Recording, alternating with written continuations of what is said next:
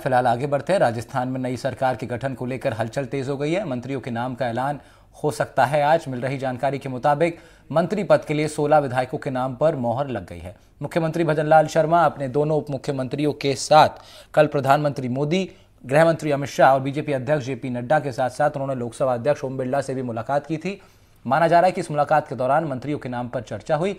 मिल रही जानकारी के मुताबिक पहली लिस्ट लगभग फाइनल हो चुकी है। सूत्रों से मिल रही जानकारी के मुताबिक पहली सूची में 16 नाम है। हालाँकि मंत्रिमंडल में कौन कौन लोग शामिल होंगे, ये अभी तक साफ़ नहीं है।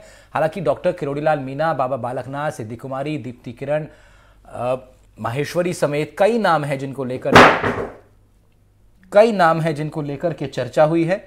मिल रही जानकारी के मुताबिक पहली बार कम लोगों को शामिल किया जाएगा।